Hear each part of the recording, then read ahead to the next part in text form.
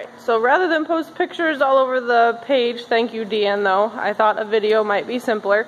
Um, so this is the Bivak unit, this is the unit that I showed in the pictures. So when you open the back door, uh, we've got tons of storage on the inside. There's storage on the back door itself. We use the VersaTrack system. We make all type of attachments for it. Um, I just use the two baskets, the paper towel holder. I do have a little garbage can holder as well that I use. Um, so then we've got the pull-out kitchen. As I mentioned in the one post, the second generation we did a little bit more finish work to it. So the kitchen features the pull-out cutting board at the bottom. Um, it's got a drawer there for silverware storage um, as well. And then we've got two basins on top that you can use for washing and rinsing.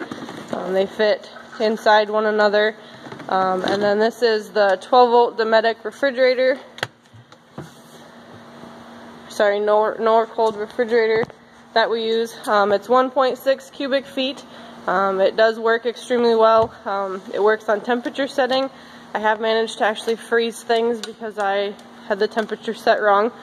Um, on the back side too, we also have the water port, um, which hooks up in the back and attaches to the 15 gallon water tank that we put up front. The water pump's on. Um, sorry, water pump is on. But the 12 volt demand pump does give water pressure to the back, so when you are doing dishes and stuff, um, you don't have to worry about.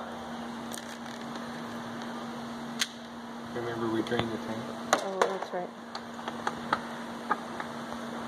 So, but we use um, a quick connect shower or a hose fitting for the water system. Stretches up to 15 feet, but it does coil up. Um, and we actually store that in here in that um, black basket up at the top.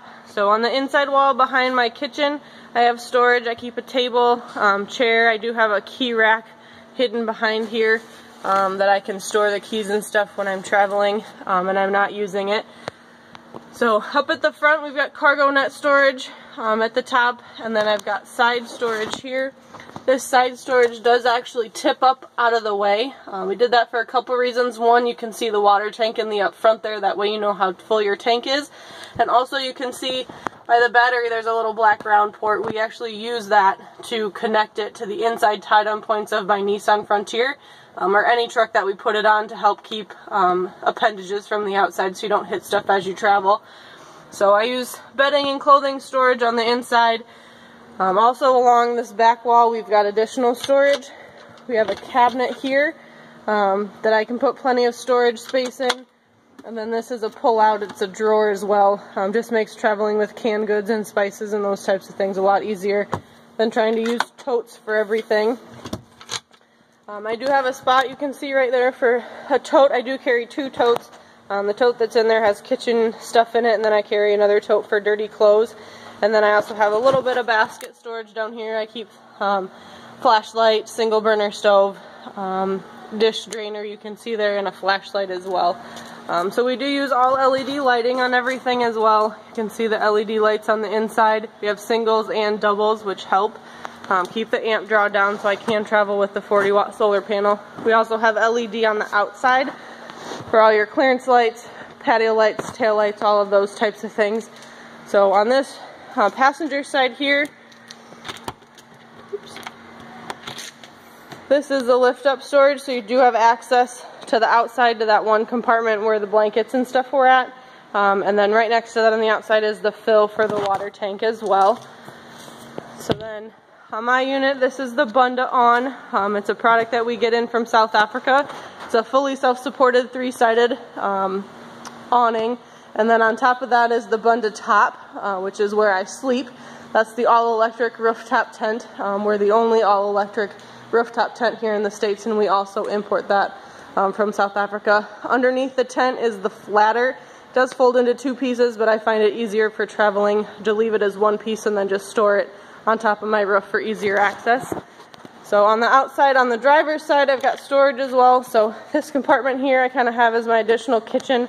Keep the cups, the plates, uh, bowls, things like that. So they're nice and neat, easy to get to rather than in a tote. And then next to that, I keep all of the stuff that I don't use very often or I don't use until um, after camp is set. So um, I've got my solar panel inside there. I've also got um, a couple rugs, a shovel, bow saw. Just I usually carry a toolkit with me as well. Um, so that's just kind of the storage on it. I said, this is the second generation, so this is the second one that I've had. Um, just had Rory do some modifications on it to make it a little bit more user friendly um, for myself and then whoever we whoever I sell it to when I'm done with it. So um, like I said, I just wanted to kind of give you a short video, let you know about the uh, Bivak itself. Um, I'd love to answer any additional questions. Um, I do actually work for Bundutec USA and this is the unit that I personally travel in. It's me and a little dog and it's perfect for us. Um, perfect for singles or couples that are traveling cross country with a small truck um, and don't want to have to use a pull behind and it gives you more options than just a topper because um, you do have the extra space um, that you can use as cargo and then sleeping on top. So like I said, you can private message me or message me on the board. I'd love to answer any additional questions and help with anything I can. Thanks again.